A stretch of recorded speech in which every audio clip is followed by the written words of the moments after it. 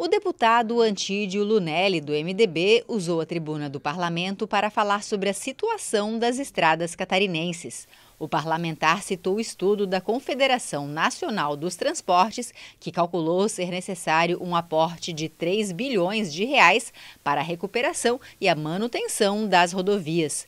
Segundo o levantamento, Santa Catarina está em 16º lugar entre os estados no quesito qualidade das estradas. Nós precisamos trabalhar imensamente, isso é vergonhoso para o estado de Santa Catarina, e assim o faremos né, com toda a nossa equipe e cobrando, seja da questão do nosso governo do estado de Santa Catarina, quanto do nosso governo federal, a nossa frente parlamentar, nós vamos atuar fortemente. Né?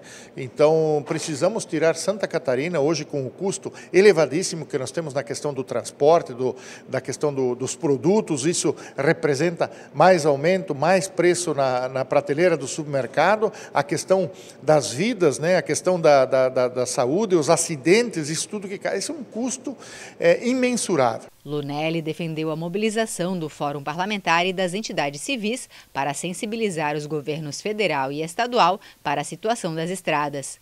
O deputado ainda afirmou que, conforme o estudo da Confederação Nacional dos Transportes, a pior rodovia catarinense é a BR-163, no trecho entre Dionísio Cerqueira e São Miguel do Oeste é a pior rodovia que nós temos no estado de Santa Catarina. É, requer de investimentos é, imediatos e urgentes também, mas essa situação, essa realidade nós vivemos hoje em todos os cantos do nosso querido estado de Santa Catarina. Vamos trabalhar incansavelmente para mudarmos esta situação.